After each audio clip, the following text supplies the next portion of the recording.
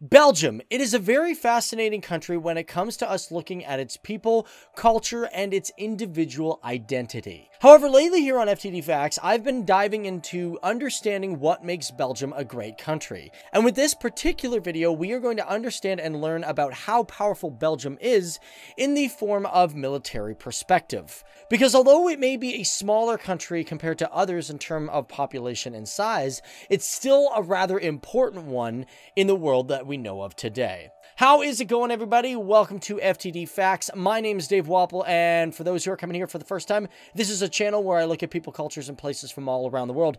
And for my reoccurring people who are coming back, yo, welcome back, guys. It's great to see you again, and it's great to see you learning about different places from around the world. I really love that you guys are doing it, and I hope you guys are having a great day as well. Let me know how your day is going down there. But today, as I said, we're going to look at Belgium and see how much power this country has. I was actually pretty surprised at some of the important things within this country. I always thought it was a lot smaller and played a lesser role in the world, but well, we're going to find out, you're going to learn, and you might be surprised too. Now, to start it all off, let's acknowledge the fact that the Belgium Armed Forces have been around for quite some time. And as a matter of fact, the country, people, and its politics have been a part of conflicts throughout history, from the Franco-Prussian Wars of 1870 to World War I, World War II, and were also a major contributor to the Cold War. And within the country, as of today, there is roughly a population of 11,491,000. But however, we're going to also look at this from a military perspective. Because of that population, the available manpower for the country is roughly 4,800,000 people. But within that, approximately 3,815,000 classify as fit for service. But within the Belgium Armed Forces, the total military personnel sits at approximately 29,225 people, with an active personnel of 28,526. Now, for the country, they also state that there's approximately 700 people in reserve units. Now, I don't know how accurate. I have a feeling that this number is a little bit off. If you are actually from Belgium and part of the armed forces and you know otherwise, let me know down there in the comment section below, because here on FTD Facts, we don't mind if we're corrected from time to time. Also, guys, just to remind you, if you guys are really liking this video and you want more content around Belgium or just armed forces topics, be sure to hit that like button, because if we get a lot, then we do more.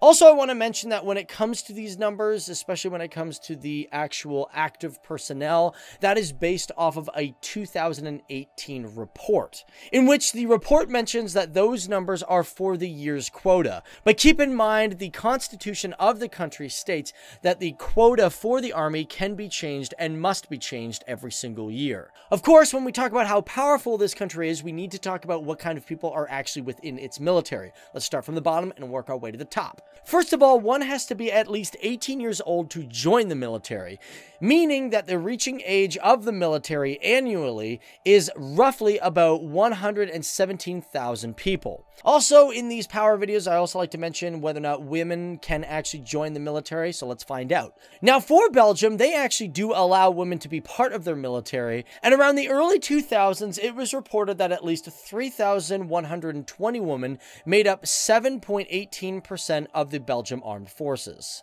Now, for this particular military, they are divided up into what is known as four different components.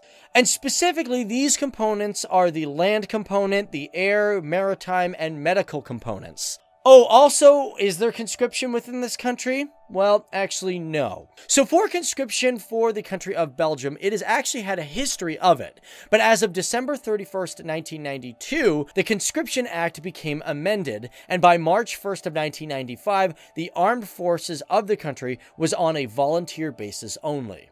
So now let's look at these individual components. I want to start off with the air component, that is basically the Air Force. The Belgian air component is actually one of the oldest air forces in the world, beginning in 1909. And before I get into this whole thing, I just want to mention the fact that Belgium is currently going through a somewhat of a modernization and an update of its aircraft. The reason is, is because they actually want to be able to improve their response times to not only within their own country, but other countries around the world. So that's a thing that they're going through. So with that, some of the numbers right now might not be the most accurate, but it's a loose estimate. With that in mind, their total aircraft strength sits at 164 approximately. And as for the main fighters of the country, they have approximately 44 of them, in which they use the F 16 Fighting Falcon. Now, when I mentioned that they were going through an upgrade, that is one thing that I also want to mention is that these F 16s are pretty much going to be replaced by the new F 35 fighter in which as of October they placed an order for 34 of these fighters and they plan to be delivered in the short coming years. As for transports, they have approximately 49 and 11 of these currently are the Lockheed C-130 aircraft. However, I should also mention that they do have 7 new aircraft on order and they are the large Airbus A400M Atlas tactical aircraft. For trainers, this country has quite a lot of them, sitting at 70, in which 9 of them are the F 16. Their total helicopters sit at 33. For helicopters, I should mention that they don't have any what is known as attack helicopters. Most of these are classified as utility helicopters. And as a matter of fact, they just recently purchased the NH 90, which is a major European helicopter, to be added to their list. And with that in mind, I should also mention that the country is planning on adding a aerial refueler, and as well they plan to purchase UAVs that are used mainly for reconnaissance and not attack. Land components, let's go right down to the ground. Now you may wonder, does this country actually have any tanks? Well, unfortunately, it has zero. And of course, you may wonder why. Well, the reason for this was in 2014, Belgium retired the last of its Leopard MBTs. However, there's also a major rumor that they also do have a few of these leopards left in storage. However, there's no official number that's been stated, so I can't say whether or not that's true or not. Again, if you know anything and you're from the armed forces, let us know down there because I'm very curious. And for the last time one of these Leopard MBTs were seen in public was during the Independence Day parade of 2014. And the main reason the Army decided to get rid of all these vehicles is because they wanted to remove tracked equipment and go with wheeled equipment instead. Also for armored fighting vehicles, they sit at 545. Currently, 268 of these are the Piranha C3. However, these will also be replaced in 2025 by the VBMR Griffin, in which they've currently ordered 417 of these as of 2017. I'm not gonna lie, does anyone ever think that these VBMRs look a little bit like something from the Jurassic World series? They look a little too futuristic for me. I don't know, that's just me. Your thoughts down there. As for artillery, the country does not possess or own self-propelled artillery units. They do have approximately 14 towed artillery, However, to find this number, I actually had to dig a bit because I'm not 100% on this one either. Because I've read that they do have an artillery department that is known as the Artillery Battalion, in which they have approximately 900 soldiers within it. And of these 14 artillery units, they use the LG-1 105mm cannons. As for their surface-to-air batteries, they were disbanded on December as of 2017. Which means, of course, this country also doesn't have any rocket projectors at all. Now, one particular unit that is sometimes forgotten about when we think of the Belgian forces is the Navy. And this is unfortunate for the guys that do serve the country because I think one of the reasons why it's sometimes forgotten about is because it's a rather small Navy. Officially known as the Maritime Component, they say they have roughly 17 Navy assets. Of course, this country has no use for aircraft carriers, and they do have two frigates. Now, interesting enough, when it comes to the frigates within Belgium, they actually have a partnership with the Netherlands. This is because of these two frigates, they are the Karel Doorman class frigates, which if you guys watched during our Dutch Navy video, which I just recently did, I'll just put a card up here if you guys want to check it out. Um, they pretty much use the Karel Doorman type frigate, and it's from that country. And these two frigates are the Leopold 1 and the Louise Marie. And of course, they've been around since 1991, and although they may seem older, they recently got a facelift and were modernized in between the years of 2012 to 2015. However, to solidify the partnership with the Netherlands, these two two countries actually are planning to completely replace the Karel Doorman with a new type of frigate. And although not much is known about this new surface combatant ship, they say that they plan on replacing it anywhere between 2020s to 2030s, with Belgium planning to have their first one by 2027.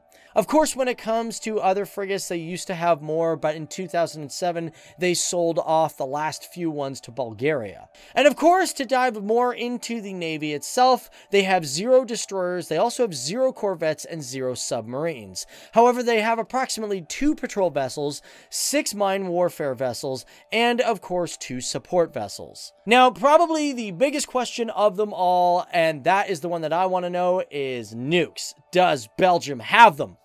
Let's find out.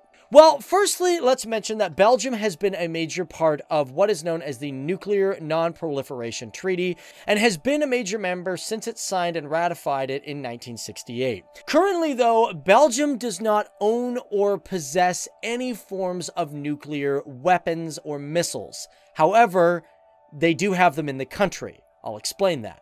This is because although Belgium does not own its own nukes, it is part of the NATO nuclear sharing program, which means the United States of America pretty much has a couple of missiles within the country, and the United States owns those missiles, Belgium does not. And currently within Belgium, they say there's anywhere between 10 to 20 of these missiles, and they are operated by the 52nd Fighter Wing, which is a US fighter group. Now, I know what you're probably thinking. Okay, you're saying to yourself, okay, well, wait, if there's missiles in the country, can they just, you know, fire them off at any time? Well, no, that's not allowed to happen because with the NATO sharing program, because these are nuclear missiles that are owned by the United States, they have to get permission from the United States to use them.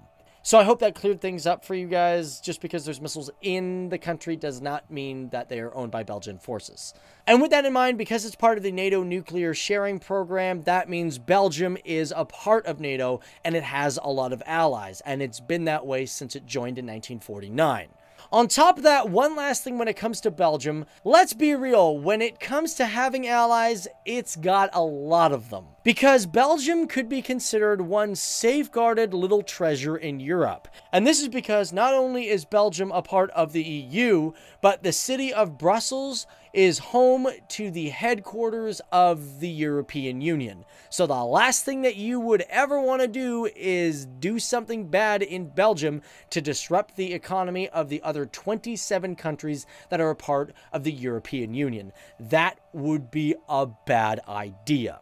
So there you have it, guys. That is me just looking at the amount of power that Belgium actually has. What are your thoughts on this? And did we miss any really cool facts about Belgium that makes it powerful? Of course, I didn't really get too much into the economy of the country, but hey, it's major influencer of the European Union. But either way, guys, my name is Dave Walpole. Thank you guys for tuning in. Once again, if you guys really like this video and you guys, you know, want more Belgian topics or you want more power or military topics, yo, be sure let me know down there in the comments section below and hit those like buttons because like buttons is the best way to find out if you guys actually like the content.